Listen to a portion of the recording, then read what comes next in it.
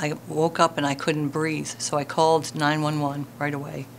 And after I called 911, they came and got me, and I, I was panicking because I couldn't catch my breath.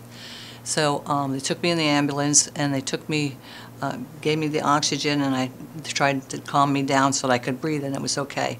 Because my heart was going thump, thump, thump, thump, thump, thump, thump. thump. I was scared to death. I was afraid. I didn't know if I was going to make it or not. Oh, he's a great doctor to me. I mean, he knew his business and he knew how to, and he drew pictures and explained to me and made me understand. But later on, and I was thinking, they're going to go through the groin, up into the heart and burn. I'm going, oh my God, I'm not going to make it, you know, because uh, I'm very scared of everything. As you get older, you get a little scared. The people in the room were telling jokes and they made me feel so comfortable and I really appreciated them being there. I didn't have any pain after the operation. I didn't have any pain. Uh, no after effects, and and I was and I went home the next day.